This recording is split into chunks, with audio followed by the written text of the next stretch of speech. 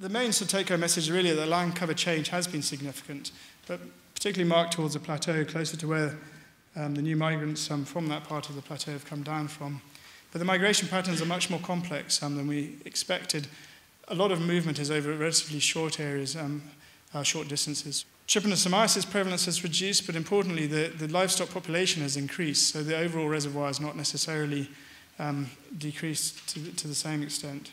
And tsetse density is relatively low, so it appears that land cover modification may be reducing tsetse density, although we can't really conclude that.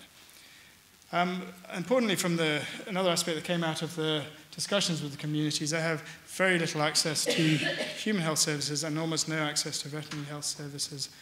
And that's something that um, I think UNZA, the University of Zambia, wants to focus on through the development of farmers groups after this project to continue that, that work.